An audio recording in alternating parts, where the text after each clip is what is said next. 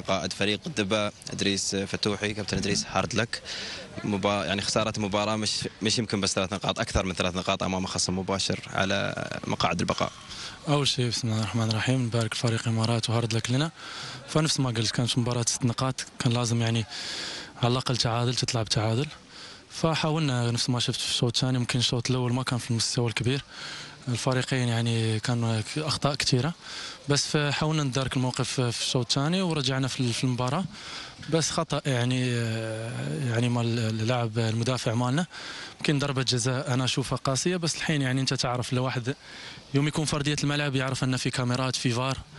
المفروض يعني هالاخطاء ما يسويها. واحد لازم يكون مركز أكثر بس الحمد لله يعني قدر الله ما شاء فعل. أه حاولنا لين آخر دقيقة. أه الواحد لازم يراجع نفسه. عندنا الأسبوع الجاي مباراة بتكون صعبة فإن شاء الله نشتغل. إن شاء الله يعني نرجع أقوى لأن كل واحد فينا عنده عنده أحسن إن شاء الله. مشكلة الدبا إنك تحس إن خصمه ممكن يسجل عليه متى ما أراد إنه يسجل، أنتم اليوم كنتم مستلمين اللعب في الشوط الثاني لين سجلتوا هدف التعادل.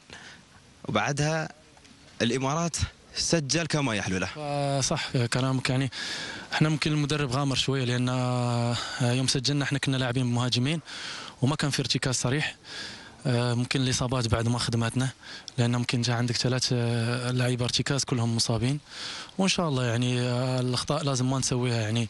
أنت يوم تسجل تعادل يعني لازم الواحد يكون مركز أكثر.